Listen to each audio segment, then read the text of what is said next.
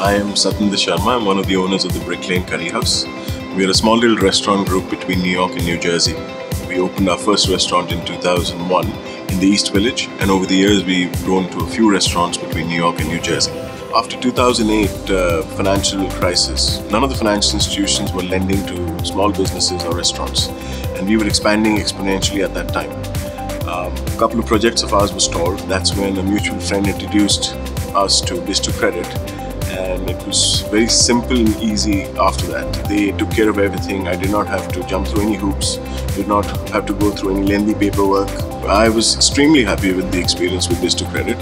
There is no uh, going around in circles. They're very straightforward about what they can do, what they cannot do.